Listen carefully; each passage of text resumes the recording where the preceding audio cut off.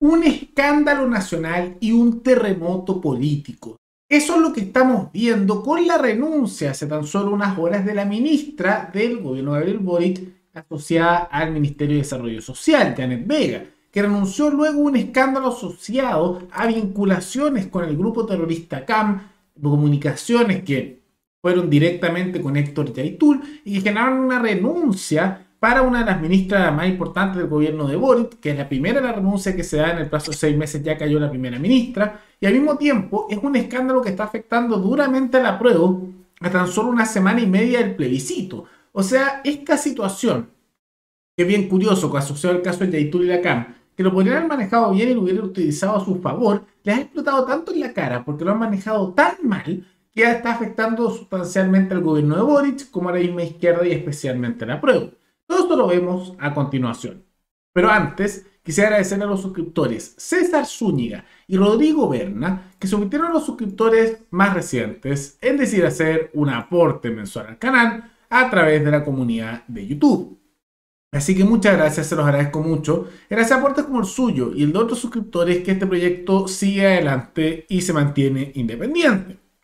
Así que si alguno de ustedes quiere hacer un aporte voluntario único por Flow, o por criptomonedas, o un aporte mensual por Patreon, o por la comunidad de YouTube, pueden decir hacerlo mirando el comentario que se encuentra fijado abajo y también pueden apoyar este programa comentando, dando like y compartiendo este video en sus redes sociales. Renuncia la primera ministra de Gabriel Boric. La verdad es que el gobierno Boric se había estado tan variando, habían tenido muchos problemas, llenos de escándalos. Se hablaba de Isquia, que iba a ser la primera en renunciar, de Giorgio Jackson, de distintas figuras que han tenido numerosos problemas. Pero finalmente fue Janet Vega la que renunció y le está haciendo un daño enorme al gobierno Boric como al apruebo porque esta renuncia hay que tomar en cuenta que se hace en menos de dos semanas de distancia del plebiscito de la prueba contra el rechazo y es por vínculos a grupos terroristas. ¿Qué es lo que ocurrió en contexto?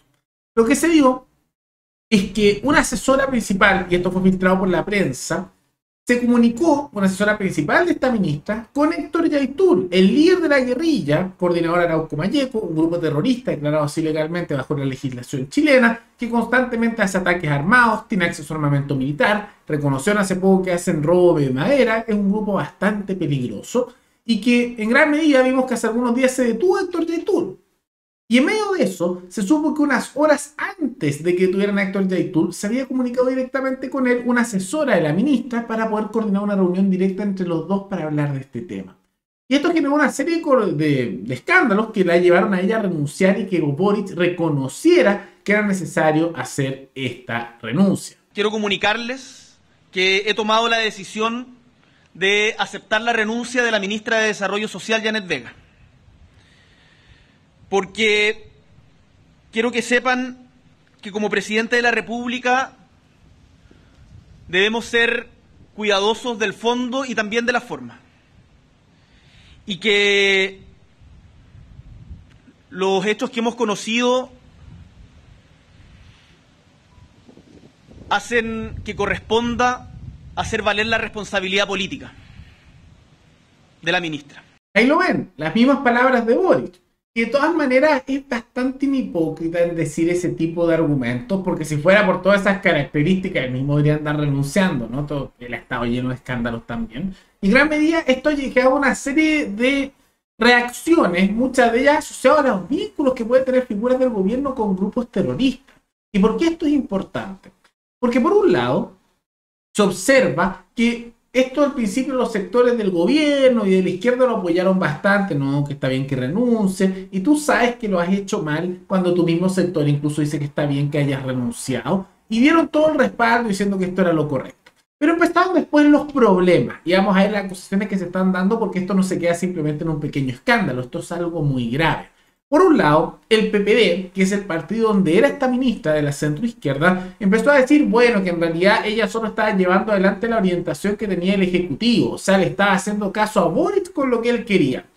Son declaraciones fuertes, porque entonces significaría que el presidente está detrás de estas cosas. Eso es un poco lo que se empezó a acusar. Te pudo reacciones de los grupos mapuches que critican al Frente Amplio del Partido Comunista como la centro izquierda de ser de falsa izquierda, de ser títeres de la derecha, del fascismo y del empresariado, del neoliberalismo imperialista y que por lo tanto son nefastos. Y apareció Marcelo Catrillanca, el padre de eh, la figura Catrillanca, eh, que murió justamente eh, en parte por los disparos de un equipo especial de carabineros hace algún tiempo y que fue un tema de noticia nacional hace bastante tiempo, y dijo que lo que no alcanzó a hacer Piñera lo está terminando este presidente, o sea, Boric, hablando de que Boric está haciendo persecución política contra los mapuches.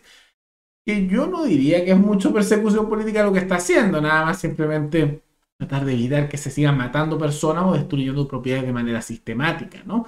Y esas reacciones muestran quiebres internos que se están dando. Y ante esto se dio una reacción por parte del gobierno para intentar decir de que, bueno, vamos a ser duros contra la CAM, vamos a avanzar en esto porque tenemos que eh, demostrar que no tenemos vinculaciones con el grupo terrorista.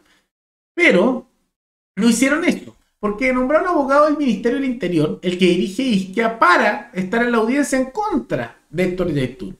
Y lo que dijo este señor es que el señor Yaitul es un líder mucho más que un guerrero, que podemos empatizar en algunos aspectos con su causa, o sea, hablando puras maravillas, que se supone que lo está persiguiendo por todos estos delitos terroristas. Y por otro lado, lo que es interesante es que el gobierno nombró, y no sé si esto es ignorancia, pero parece que fuera a propósito, al que lo está persiguiendo a la misma persona que lo defiende a en otra causa distinta. O sea, Yaitul tiene este mismo abogado como defensor suyo, o sea, su abogado que lo defiende en otra causa judicial, y ese mismo abogado lo nombrado para perseguirlo en esta causa. ¿Cómo creen que lo va a perseguir esa persona? Si es que lo persigue, si es que va a ser súper leve, porque lo está defendiendo en otras causas. Pues es alguien que, y por las mismas palabras, le encanta Yaitul. Y eso muestra una complicidad que ya empieza a quedar evidente por parte de las figuras del gobierno con estos grupos guerrilleros. Porque efectivamente es evidente que es así. Primero por este tipo de contacto directo, la renuncia que se ven obligados a hacer, el tema de cómo están tratando de quedarse callados con este tema y posteriormente el nombramiento de este fiscal. Y en gran medida hay que tomar en cuenta que los sectores del gobierno no querían que pasara esto. Ellos trataron de eliminar las persecuciones que se estaban haciendo de carácter penal para estos temas, tratando de anular este tipo de leyes por parte de la Ley de Seguridad del Estado por las cuales se logró captar a Yaitul. Y lo que ahora se está cuestionando es una serie de cosas que son preguntas sumamente razonables. Primero, ¿cómo fue que consiguen los números directos de figuras guerrilleras? ¿Por qué no los han capturado antes? Por otro lado, que haya renunciado la ministra muestra que había una culpabilidad ahí, que tenían responsabilidad, o sea, no, no hubiera tenido que renunciar en desgracia. Eso es un tema. Después viene el tema cuestionable de que las figuras de gobierno también empezaron a decir que lo preocupante era cómo se había filtrado esto. No tanto el contacto directo ni cómo lo que estaba detrás, sino que esto se hubiera filtrado. ¿Qué quieren ocultar? Y después viene el otro tema. Se ve que es evidente una complicidad por esta serie de hechos, los vínculos de gobierno con la situación que se ve aquí y también por el hecho de que el abogado que nombraron para perseguir a Héctor Yaitul es alguien que le encanta a Yaitul y lo defiende en otra causa complicidad evidente. O sea, es cosa de sumar uno más uno, ¿no? Simplemente queda evidente que hay una complicidad que se está dando ahí. Y a muchos les está quedando bastante claro. Entonces, en medio de toda esa situación, está generando un golpe muy duro porque el gobierno, a menos de una semana, bueno, a menos de dos semanas del plebiscito, quedó como cómplice de los grupos guerrilleros. Manejó pésimo la situación. La popularidad de Boric y su imagen está asociada directamente con el apruebo. La ministra renunció, tienen que nombrar un nuevo ministro, a poco del plebiscito, está en una crisis de violencia. Al mismo tiempo la izquierda misma se dividió por este tema mapuche, algunos criticando a la guerrilla y otros apoyándola. Entonces es un problema sustancial.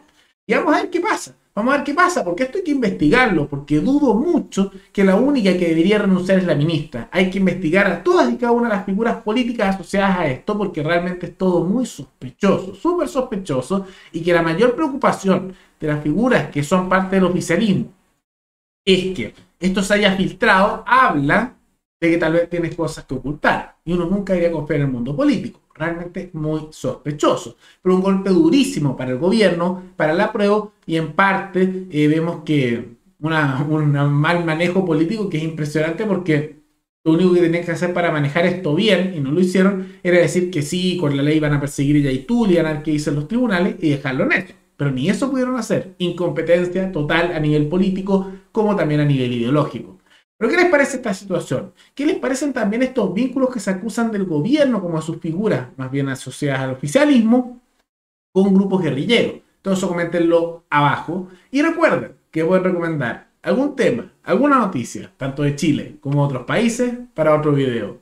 Nos veremos en el siguiente programa. Hasta luego.